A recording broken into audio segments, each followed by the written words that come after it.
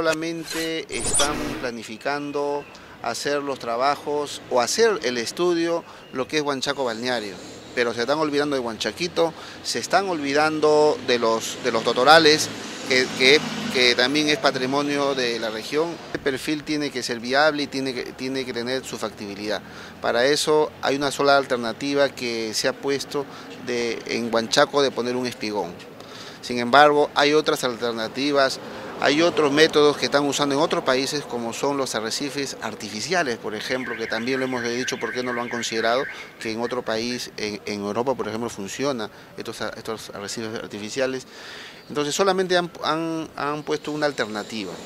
¿Esperaban más ustedes de lo de... Claro, hemos esperado más, hemos esperado más alternativas de solución con respecto a la erosión costera. Continúan las dudas, alcalde, en todo caso. Así es, no hubo nada serio, eh, no hubo algo muy sustentado, ¿no? Eh, por eso que estamos solicitando que, se realice aquí en, en Huanchaco un informe para toda la población.